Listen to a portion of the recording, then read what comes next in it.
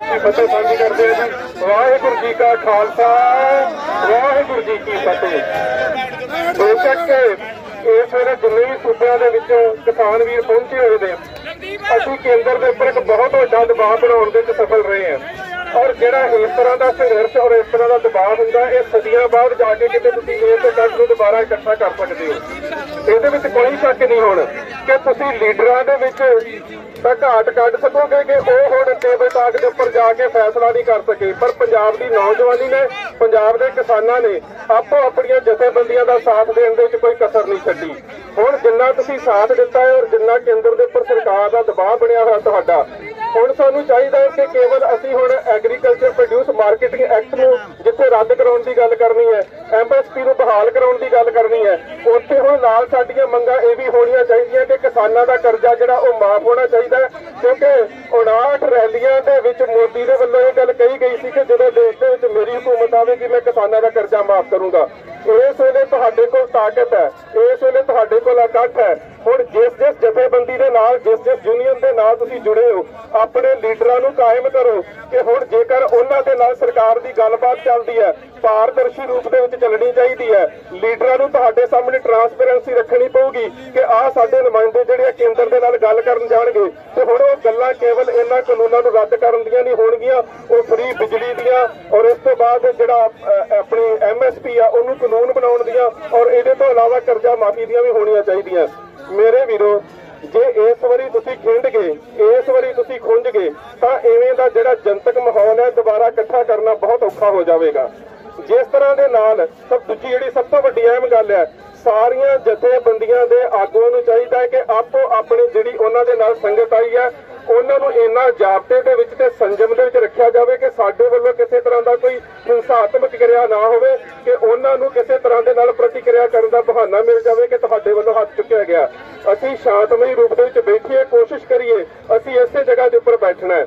ਜੇਕਰ ਸਾਡੀਆਂ ਜਿਹੜੀਆਂ ਕਿਸਾਨ ਆਗੂ ਜਾਂ ਜਥੇਬੰਦੀਆਂ ਫੈਸਲਾ ਕਰਦੀਆਂ ਨੇ ਕਿ ਅਸੀਂ ਸਰਕਾਰ ਦੇ ਵੱਲੋਂ ਦਿੱਤੀ ਹੋਈ ਜਗ੍ਹਾ ਦੇ ਉੱਪਰ ਜਾ ਕੇ ਬੈਠਣਾ ਹੈ, ਤਾਂ ਫਿਰ ਇੱਕ ਟੁੱਕ ਗੱਲ ਉਹਨਾਂ ਦੇ ਨਾਲ ਜ਼ਰੂਰ ਕਰ ਲਿਓ ਕਿ ਅਸੀਂ 6-7 ਮਹੀਨੇ ਇੱਥੇ ਨਹੀਂ ਬਹਿਣਾ। ਇਹਨਾਂ ਨੂੰ ਇੱਕ ਅਲਟੀਮੇਟਮ ਦਿੱਤਾ ਜਾਵੇ ਕਿ ਇੰਨੇ ਘੰਟਿਆਂ ਦੇ ਵਿੱਚ ਸਰਕਾਰ ਦੇ ਨੁਮਾਇੰਦੇ ਆ ਕੇ ਇਹਨਾਂ ਕਾਨੂੰਨਾਂ ਨੂੰ ਰੱਦ ਕਰਕੇ ਸਾਡੇ ਨਾਲ ਗੱਲ ਕਰਨ, ਨਹੀਂ ਤਾਂ ਫਿਰ ਅਸੀਂ ਅਗਲੇ ਚਾਲੇ ਪਾਉਣ ਵਾਸਤੇ ਤਿਆਰ ਹੋਵਾਂਗੇ। ਬਾਕੀ ਮੈਂ ਹਾਂ, ਵੀਰ ਸਿੰਘ ਜਾਂ ਜਿੰਨੇ ਸਾਡੇ ਵੀਰ ਜਾਂ ਜਿੰਨੇ ਸਾਡੇ ਇਹ ਚੁੱਕਾ ਜੀ ਜਿਸ ਨੇ ਗੱਡੀ ਉੱਪਰ ਚੜ੍ਹ ਕੇ ਜਿਹੜੀਆਂ ਪਾਣੀ ਦੀਆਂ ਬਸਾਰਾਂ ਬੰਦ ਕੀਤੀਆਂ ਸੀ ਇਹ ਸਾਡਾ ਇਹ ਸਾਡਾ ਜੈ ਸਿੰਘ ਹੁਣਾਂ ਦਾ ਬੇਟਾ ਨਵਦੀਪ ਸਿੰਘ ਬਹੁਤ ਪਿਆਰਾ ਵੀਰ ਹੈ ਹਰਿਆਣਾ ਤੋਂ। ਜਿੰਨੇ ਉਸ ਦਿਨ ਛਾਲ ਮਾਰ ਕੇ ਤੇ ਪਾਣੀ ਦੀਆਂ ਜਿਹੜੀਆਂ ਬਸ਼ਾਰਾਂ ਸੀ ਉਹ ਬੰਦ ਕੀਤੀਆਂ ਸੀਗੀਆਂ। ਔਰ ਮੇਰੇ ਖਿਆਲ ਦੇ ਨਾਲ ਇਸ ਵੀਰ ਦੀ ਛਾਲ ਨੂੰ ਚਾਹੇ ਦੀ ਹਿੰਮਤ ਨੂੰ ਵੇਖ ਕੇ ਹੁਣ ਜਿਹੜੇ ਲੋਕ ਕਹਿੰਦੇ ਸੀ ਕਿ ਪੰਜਾਬ ਦੇ ਨੌਜਵਾਨ ਜਾਂ ਹਰਿਆਣੇ ਦੇ ਨੌਜਵਾਨ ਚਿੱਟੇ ਦੇ ਵਿੱਚ ਮਰ ਖੱਪ ਗਏ ਨੇ, ਉਹਨਾਂ ਨੂੰ ਇਹ ਯਾਦ ਕਰਨਾ ਚਾਹੀਦਾ ਬਾਲੀਵੁੱਡ ਵਾਲਿਆਂ ਨੂੰ ਕਿ ਤੁਸੀਂ ਪੰਜਾਬ ਦੇ ਉੱਪਰ ਫਿਲਮਾਂ ਬਣਾਉਂਦੇ ਸੀ ਉੜਤਾ ਪੰਜਾਬ। ਅੱਜ ਤੁਹਾਡੇ ਘਰਾਂ ਤੋਂ ਚਿੱਟਾ ਫੜਿਆ ਜਾ ਰਿਹਾ ਤੇ ਸਾਡੇ ਨੌਜਵਾਨ ਤਾਂ ਉੱਡਦੇ ਫਿਰਦੇ ਅਜੇ ਵੀ। ਸਾਡੀ ਨੌ ਤਲਵਾਰਾ ਸਾਹਿਬ ਨੂੰ ਬੁਲਾਓ। ਹਾਂਜੀ, ਹਾਂਜੀ। ਤਲਵਾਰਾ ਸਾਹਿਬ ਨੂੰ ਬੁਲਾਓ ਸਾਡੀ ਸਾਡੇ ਨੌਜਵਾਨਾਂ ਨੂੰ ਸਾਡੀ ਪੰਜਾਬ ਦੀ ਜਵਾਨੀ ਨੂੰ ਸਾਡੇ ਹਰਿਆਣੇ ਦੀ ਜਵਾਨੀ ਨੂੰ ਬਦਨਾਮ ਨਾ ਕਰੋ ਕਿ ਚਿੱਟਾ ਪੀਂਦੇ ਨੇ। ਇਹਨਾਂ ਦੀਆਂ ਛਾਲਾਂ ਤੇ ਇਹਨਾਂ ਦੀ ਹਿੰਮਤ ਤੁਸੀਂ ਵੇਖ ਲਈ ਹੈ। ਤੁਸੀਂ ਵੇਖਦੇ ਹੁੰਦੇ ਸੀ ਕਿ ਜਥੇਬੰਦੀਆਂ ਮੁਜ਼ਾਹਰੇ ਕਰਦੀਆਂ ਸੀ ਅੱਗੇ ਪਾਣੀ ਵਾਲੀਆਂ ਜਦੋਂ ਚਲਾਈਆਂ ਜਾਂਦੀਆਂ ਸੀ ਤੋਪਾਂ ਤਾਂ ਪਾਣੀ ਤੋਂ ਡਰਦੇ ਮਾਰੇ ਪੱਗਾਂ ਦੀਆਂ ਫੋਟੋਆਂ ਖਿਚਾਉਂਦੇ ਹੁੰਦੇ ਸੀ। ਕਿ ਸਾਡੀਆਂ ਪੱਗਾਂ ਲਾ ਦਿੱਤੀਆਂ ਜੀ। ਸਾਡੇ ਤੇ ਜਿੰਨੇ ਵੀ ਰਾਜਸੀ ਲੀਡਰ ਹੈ ਨਾ, ਇਹ ਕਦੀ ਪਾਣੀ ਅੱਗੇ ਹਿੱਕ ਡਾ ਕੇ ਨਹੀਂ ਖੜੇ ਹੋਏ। ਆ ਤੁਸੀਂ ਕਿਸਾਨਾਂ ਦੇ ਪੁੱਤ ਸੀ ਜਿਹੜੇ ਪਾਣੀ ਦੀਆਂ ਤੋਪਾਂ ਦੇ ਅੱਗੇ ਹਿੱਕ ਡਾ ਕੇ ਖੜੇ ਹੋਏ ਹੋ ਔਰ ਕਿਤੇ ਜਾ ਕੇ ਤੁਸੀਂ ਉਹਨਾਂ ਦੀਆਂ ਪਾਈਪਾਂ ਕੱਟੀਆਂ ਤੇ ਕਿਤੇ ਉੱਤੇ ਜਾ ਕੇ ਤੁਸੀਂ ਪਾਈਪਾਂ ਦਾ ਜਿਹੜਾ ਮੂੰਹ ਮੁਹਾਵਰਾ ਹੈ, ਉਹ ਮੋੜ ਦਿੱਤਾ ਹੈ ਸੋ ਪਰ ਦੂਜਾ ਜਿਹੜਾ ਹੁਣ ਇਸ ਵੇਲੇ ਸਾਡਾ ਨਿਸ਼ਾਨਾ ਹੋਣਾ ਚਾਹੀਦਾ ਹੈ, ਸੰਜਮ ਦੇ ਵਿੱਚ ਰਹਿਣਾ ਸ਼ਾਂਤੀ ਦੇ ਵਿੱਚ ਰਹਿਣਾ ਇਹ ਇੱਕ ਸੰਘਰਸ਼ ਜਿਹੜਾ ਅਸੀਂ ਸੰਜਮ ਦੇ ਵਿੱਚ ਰਹਿ ਕੇ ਸ਼ਾਂਤੀ 'ਚ ਰਹਿ ਕੇ ਜਿੱਤ ਸਕਦੇ ਹਾਂ ਸਟੇਟ ਨੂੰ ਇਸ ਗੱਲ ਦਾ ਮੌਕਾ ਨਾ ਦਿੱਤਾ ਜਾਵੇ ਕਿ ਕਿਸੇ ਤਰ੍ਹਾਂ ਦਾ ਵੀ ਉਹ ਸਾਡੇ ਉੱਪਰ ਕੋਈ ਹਿੰਸਾਤਮਕ ਪ੍ਰਤੀਕਰਮ ਦਾ ਦੋਸ਼ ਲਾ ਕੇ ਕੋਈ ਸਖਤੀ ਕਰਨ। ਪਰ ਇੱਥੇ ਜਿੱਥੇ ਅਸੀਂ ਬੈਠੇ ਇੰਨੀ ਸ਼ਾਂਤੀ ਦਾ ਮੁਜ਼ਾਹਰਾ ਕਰੀਏ, ਸੱਚ ਜਾਣਿਓ, ਇਹ ਜਿਹੜਾ ਦਬਾਅ ਤੁਹਾਡਾ ਹੈ, ਜੇਕਰ ਕੁਝ ਸਮਾਂ ਕਾਇਮ ਰਹਿ ਜਾਂਦਾ ਹੈ, ਤਾਂ ਸਰਕਾਰ ਨੂੰ ਤੁਹਾਡੇ ਕੇ ਗੋਡੇ ਟੇਕਣੇ ਪੈਣੇ ਆ। ਪਰ ਉਹਦੇ ਵਾਸਤੇ ਤਿਆਰ ਰਹੋ ਕਿ ਅਸੀਂ ਹੁਣ ਕੇਵਲ ਇਹਨਾਂ ਤਿੰਨ ਕਾਨੂੰਨਾਂ ਨੂੰ ਰੱਦ ਕਰਾਉਣ ਦੀ ਨਹੀਂ, ਬਲਕਿ ਅਗਲੀ ਜਿਹੜੀ ਗੱਲ ਅਸੀਂ ਉਹ ਵੀ ਸ਼ੁਰੂ ਕਰਨੀ ਹੈ। ਸੋ ਹੁਣ ਮੈਂ ਬੇਨਤੀ ਕਰੂੰਗਾ ਰਣਜੀਤ ਸਿੰਘ ਵੀਰ ਜੀ ਹੁਣੀ ਸਾਡੇ ਤੋਂ ਰਾਜਸਥਾਨ ਤੋਂ ਜਥਾ ਲੈ ਕੇ ਪਹੁੰਚੇ ਨੇ। ਮੈਂ ਬੇਨਤੀ ਕਰੂੰਗਾ ਉਹ ਸੰਬੋਧਿਤ ਹੋਣਗੇ ਤੁਹਾਨੂੰ।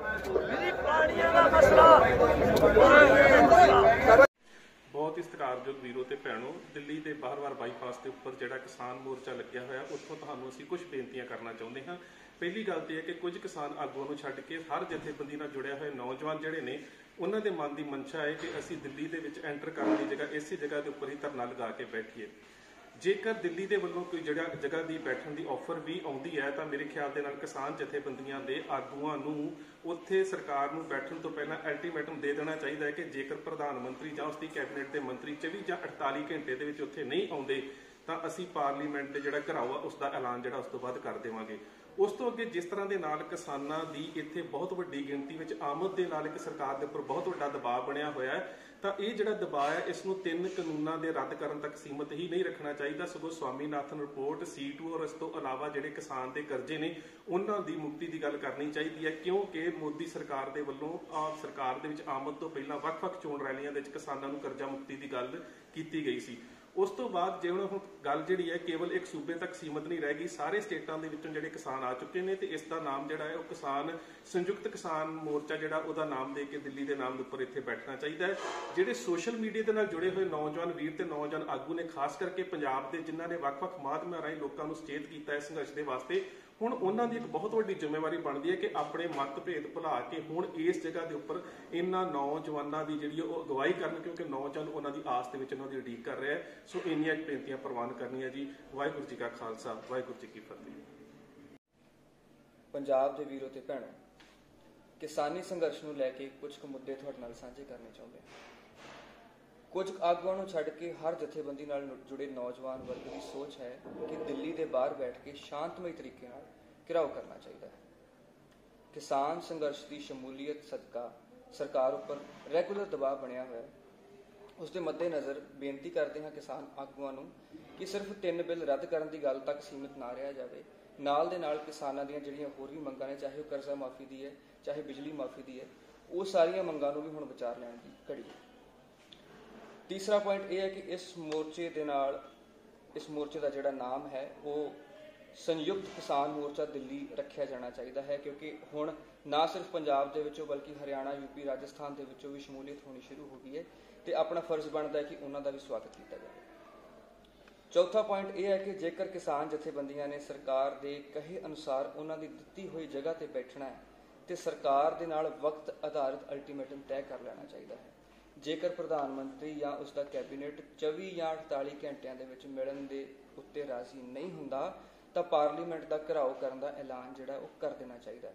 ਤੇ ਦੂਸਰੀ ਗੱਲ ਇਹ ਕਿ ਇਹਦੇ ਨਾਲ ਦੇ ਨਾਲ ਜਥੇਬੰਦੀਆਂ ਨੂੰ ਬੇਨਤੀ ਹੈ ਕਿ ਜਿਹੜੀ ਕਮੇਟੀ ਜਿਹਨੇ ਗੱਲਬਾਤ ਕਰਨੀ ਹੈ, ਉਹ ਵੀ ਐਲਾਨੀ ਜਾਵੇ ਤਾਂ ਜੋ ਸਾਨੂੰ ਥੋੜਾ ਜਿਹਾ ਹੌਸਲਾ ਹੋ ਸਕੇ ਕਿ ਸਾਡੀ ਗੱਲਬਾਤ ਜਿਹੜੀ ਆ ਹੁਣ ਅੱਗੇ ਤੁਰ ਰਹੀ ਹੈ।